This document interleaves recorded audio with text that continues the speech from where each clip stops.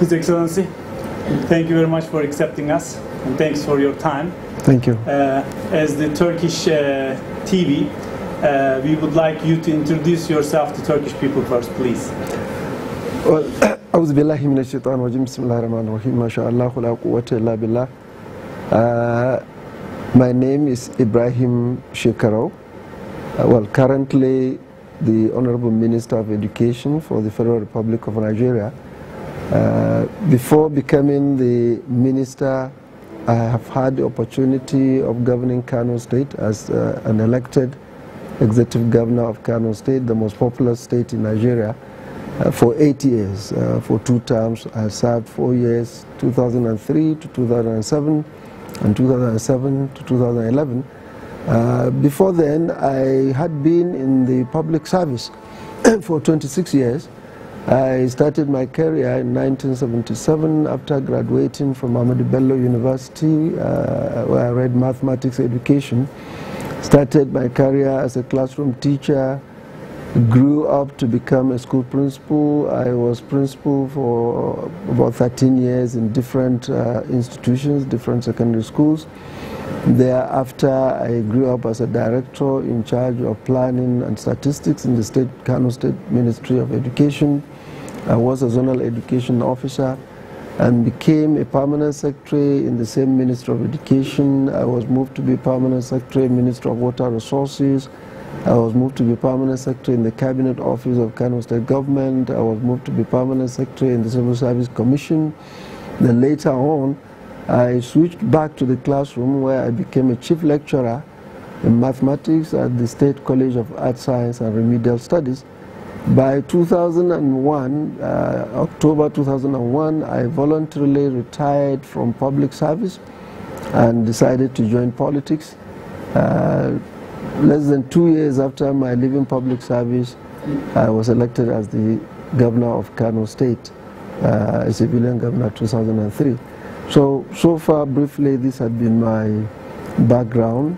Uh, as a profession, I am a trained teacher, trained guidance counselor, and uh, I always cherish this. I pray I'll continue to be a teacher till the end of my life. Very good, wonderful. Uh, Excellency, uh, as you said, you are you you are originally a teacher, and you have been almost in almost every segment of this education uh, process. Yes. So I think this question would go as now, what is the educational sector in Nigeria's biggest challenge, and what is the biggest strength? Well, I think for now, the, our biggest challenge is uh, virtually two or three. Number one is to increase the access at all levels, primary, secondary, and tertiary. Uh, we have hundreds of thousands of students who want to go to school, and uh, we want to create the opportunities for them to go to school. And uh, out of the students that actually graduate from our secondary schools, not up to a quarter end up getting into the university. So you can imagine the large chunk of students that are out there. Of course, the number of universities are on the increase, colleges of education, polytechnics are daily on the increase, but this is still far, far from being sufficient. So our greatest challenge is to increase the, uh, the, the, access. Number two, of course, we are still battling with uh, the general awareness in some parts of the country uh, particularly up in the north and some part of the southeastern part of Nigeria. For the north, the greatest challenge is to see how we can have many more of our girls into school. Uh, and in the south, particularly south, is to see more of the boys going into school. Uh, so this is also another challenge to really mobilize the people, encourage them to go to school. The third challenge, of course, is that of resources. See, uh, we have very limited resources. When you have the demand by far outweighing the supply of resources, then you have the biggest challenge of prioritizing within the system. So this, we are uh, thankful to God, we are getting a lot of support from international uh, development partners, uh, USAID, DFID, UNESCO, World Bank, and several other donor agencies. They've been coming to our aid. And of course, we also have the challenge of quality. It is one thing to increase the access, to mobilize people to go to school or accept the, the call to go to school. Uh, but building the school, having the students, you don't still have a school until you have the teachers and the instructional materials. These are the two factors that make any educational system to, to, to, to really grow. Uh, teachers and instructional materials. And this is, uh, for you to produce this, you need resources. You need more money to train the teachers, to employ them, to recruit them, to retrain them. You need more money to provide the instructional materials and so on. So basically these are our three major challenges and uh, um, thankfully we are doing quite a lot. We're moving gradually towards resolving them. Wonderful. Yeah. As it is written in the books and people know very well, uh, in the past times of Nigerian history, people were very excited about government schools, public schools, and their reputation and their glory was extremely high. So what do you think would take to regain that uh, reputation back? Well, I quite agree with you. In the past years, uh, anyone that attended school uh, 30, 40, 50, 60 years back will tell you that the situation has uh, changed and uh, it is given us a lot of concern. Public schools used to be uh, a very high standard, but the main factor there is the issue of uh, explosion in our population. There is very, very rapid growth mm -hmm. in our population. The growth on, of population by far outweigh the provision in education. I see. Uh, so this led to overcrowding in our schools. This led to overstretching of the teachers. This led to gross shortage of teachers and instructional materials. And naturally, this will affect uh, quality.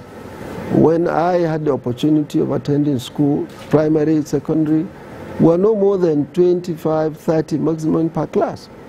And you have only a teacher handling you, and it's only one arm each. But what we have today, it's uh, hundreds of students in a class with several arms. Uh, in the 60s and 70s in Nigeria, when you have a school of 200 students, 300 students is considered as a very large school. But today you have schools of 3,000, 4,000, 5,000 students as a primary or secondary school. And yet the number of teachers are not there.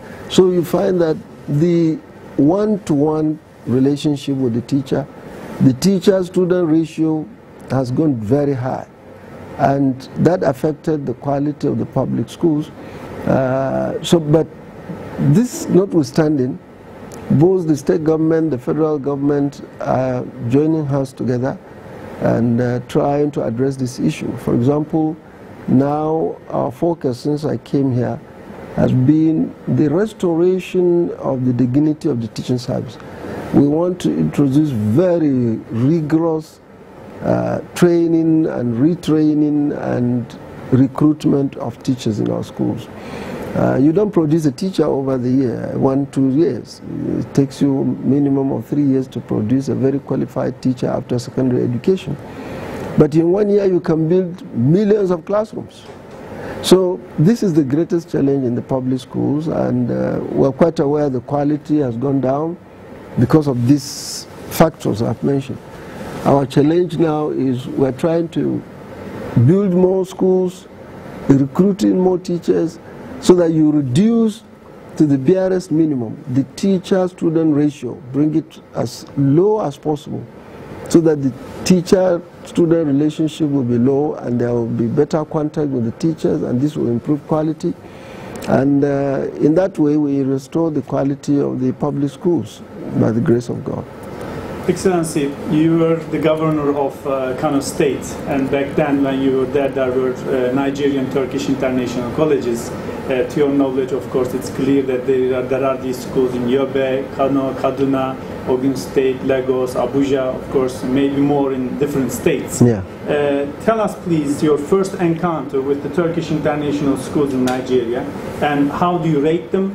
From where they started in 1998, from a very rented uh, small school, to where they are now in 2014. Well, I think uh, my encounter with the uh, Turkish International School has been very, very uh, encouraging and uh, very inspiring. Uh, it may interest you to know that to know that at least three of my children passed through the Turkish International Secondary School in Kano, and we're very proud of them. One of them has graduated, and she's now into her master's degree. Uh, the other two are now reading the final year in their degree courses, and uh, they had very excellent results. So my encounter with the Turkish International School has been very, very wonderful. I found them to be concerned with quality and discipline of the students, and these are the two key, uh, most important things. Uh, hard work and good conduct. This is what uh, is always being emphasized and I will ever remain grateful to the uh, Turkish International School uh, program. I think just like any other private contribution, we welcome this. These, those of us in the education industry uh, appreciate this because you are, by establishing such schools, helping to minimize and reduce the overstretching in public schools and uh, it's a very wonderful contribution. I found them very useful. So, uh, First Surat Group, which is the owner of NTIC schools, the university, and the hospital, they have this philosophy: whatever you earn in this country, invest it back to the same country, which is of course Nigeria. That's right. Would you comment on that strategy or the philosophy? I think this is this this is a very godly attitude because. Uh, when you live in a community and you earn resources or income from, from such communities, it's only godly and fair for you to do your social responsibility services to the people. Uh, I don't see the establishment of such schools is a money-making business, but uh, because we know the greatest investment you can make in any community is to invest into the educational system. So I think uh, this contribution uh, to me and to all those that are really concerned, it's contributing to the survival of our community, to the survival of our nation, because education is life. Uh, it's all about us. It's the foundation of every uh, societal development and uh, anywhere on, in the world.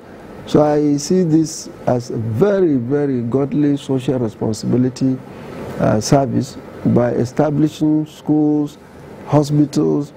These are the two things, you see, uh, the two, three things as we know uh, politically that give an individual progress, sound education, good health, and security. Once you give any human beings these two, uh, you are finished with him. All other things he can do for himself. Yeah. Uh, Excellency, how do you feel the presence of these Turkish schools, Turkish Nigerian schools actually, that's how we call it, yeah. uh, has affected Nigeria in terms of like uh, socio sociological view, psychological view, and also setting up the bar of the standard for the country in terms of education, including Nigerian uh, Turkish Nile University also, if you can. I think it is uh, very, very, I, I was very excited to uh, see the university really owned by the Turkish community uh, established in Abuja. And by some coincidence as well, uh, my own biological daughter is now a student in the Nile University. So I think uh, it's, uh, it's, uh, it's like I am, uh, by some God's providence, becoming part and parcel of the Turkish educational system in Nigeria. So I have the first-hand evidence to say that these institutions are contributing towards the growth and development of our society. Because as I said earlier on, the best investment is in education. So by establishing schools, uh, invariably Turkish uh, educational uh, investment in Nigeria is investing into the development of this country. You know, when you invest into education, it's not something that you'll see the result in one year, two years, three years, four years. Uh, very soon, these students of the international school, uh, the students of the Nile University in the next five, ten years, they will be men of themselves, they will be occupying different sectors of the society, and uh, it is then that you see the impact, uh, the result. And uh, it will affect the society, the home, and all the rest. Uh, so my children have become part and parcel of the Turkish school system uh, for life. And I'm sure when they grow and become uh, responsible citizens, they'll have stories to tell. And they will really tell good stories about the schools established by the Turkish community. Excellency, have you ever visited Turkey? Uh, not yet. Yeah, it's, uh, this uh, is going to be my pleasure. In this couple of days, I will be in Turkey, and uh, I've heard a lot of it. I've read about it. It had been my wish to visit Turkey, but God's time is always the best. Uh, God has brought the time. I will be there, and I'm sure this will be the beginning of the beginning of my relationship with the Turkish community by the grace of God. Have you coming to last questions? Just this is one of the last. Are uh, universities in Nigeria collaborating with foreign institutions to share knowledge and so resources yet? What's your? Well, our universities are always encouraged really to associate with foreign universities. You know, knowledge generally is not considered uh, true knowledge until it is exposed to other sectors. Uh, as an institution of learning, our universities are encouraged to, to collaborate with other institutions. And uh, as a Minister of Education now, we are going to encourage this the more. When I was governor of Kano State, I led several teams to different countries all over the world to have collaboration between our education industry in Kano, our universities, our tertiary institutions, countries uh, across the world. Now that I'm overseeing the education aspect entirely in Nigeria, uh, we're going to encourage this. Uh, many universities do this and will encourage this. And I'm happy uh, I've come close to the Nile University now. We will encourage a lot of uh, collaboration with them, and through them, we'll link up with many more other universities in Turkey. And I think this is a very good uh, beginning for us. Uh, my last question, Excellency, what are you most proud of about your job? Well, I am particularly more proud about being associated with the teaching job I had always found it a very wonderful uh, profession. I enjoy it and uh, I look forward to using my opportunity to improve the well-being uh, of the teaching service, to improve the quality, improve the welfare, because I have come to believe that, not because I'm from the teaching service, uh, we have a very common statement which is globally accepted that no nation can rise above the quality of educational system and no education system can really grow and rise above the quality of its teachers. So this implies no nation can grow and rise higher than the quality of his teachers. And this is one of my tasks, my target, my vision, to see that the teaching job is sustained as the most dignified job with high integrity and respected in society so that the teachers will be in a position to impart knowledge and imparting knowledge mean imparting progress. Thank you. Honorable Minister of Education of thank Nigeria, you. thank you very much. Thank you very much. You're welcome.